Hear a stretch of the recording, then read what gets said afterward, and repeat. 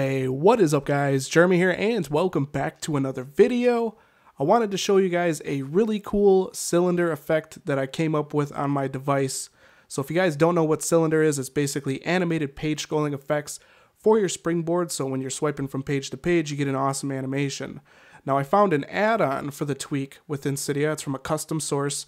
Uh, and it comes with some new animations. I combined them with a couple others, and like I said, I came up with this pretty awesome looking um, setup basically for cylinder and I think it looks really really cool.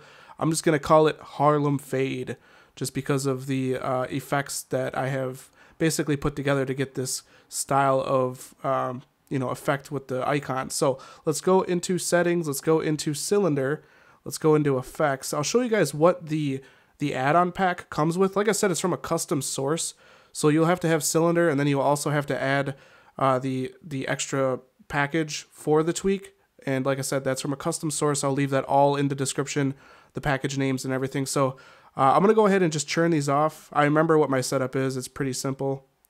And then stay put. So basically what the uh, add-on pack comes with, the first thing is the Harlem Shake. I'll show you guys what Harlem Shake looks like.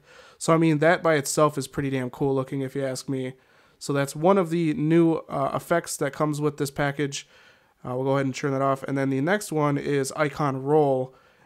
We'll go ahead and exit out and I'll show you guys what icon roll is. Pretty basic. It looks like a lot of the other effects within Cylinder. So I'm not the biggest fan of that, but I really do like the Harlem Shake. So the way I have it set up is I have the Harlem Shake, and then I have Page Fade, and then Stay Put. And that is how I get the effect you guys are seeing. Those three effects all uh, combined together gives this effect, and I think it looks really, really awesome. I'm just calling it Harlem Fade. Like I said, guys, I think it's a cool combination.